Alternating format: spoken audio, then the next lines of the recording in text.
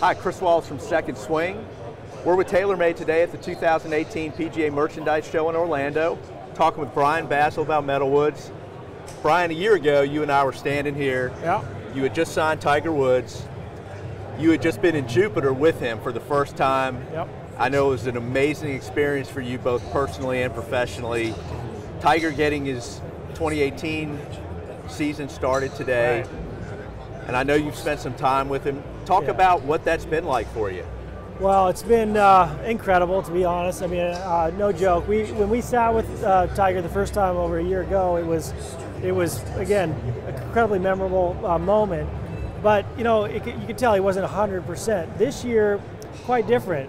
Um, not only did we have something incredible to show him and talk to him about Twist Face, I had the opportunity to sit down with him for 45 minutes to go through the technology, which um, you know he's incredibly intelligent. He knows product, you know, like like he he could be working at TaylorMade. He knows product, and so that was the first step. And then to actually get out and see him, um, didn't know what to expect to be honest. Uh, after he came back, but the, the strength and the power he had, the um, fluidity to his swing, and the ability for him to really test, really test. We took him through the wringer with M3, M4. He ultimately landed on an M3, and what looks like today is that he's gonna he's gonna put that in play. And as we all know, he doesn't change products very often, and so I cannot wait to see him play. Yeah, and you could see at the Hero World Challenge that that speed was back Yeah. in his golf swing.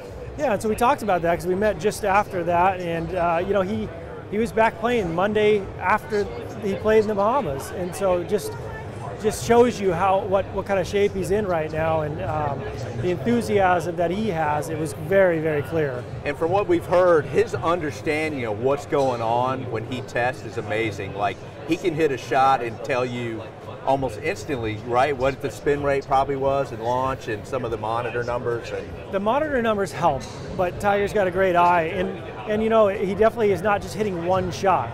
He's testing products on multiple shots, and uh, and so it's a it's a more complex fitting.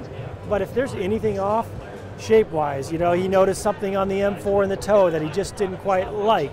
Uh, but when he saw the M3 440, he fell in love with it. But he Yeah. can point it and articulate exactly what he's seeing, what he's feeling, and how it's performing. that's great stuff. I know everybody's excited to see how he plays this year and it's, it's going to be great for golf if he can come back and play like the old Tiger. Yeah, I mean, I, I, we're, I'm as enthusiastic, I think, as you are and everybody else who's probably watching this. Absolutely. We appreciate you sharing some insight into your time with him. Thanks so much. You bet. Yep.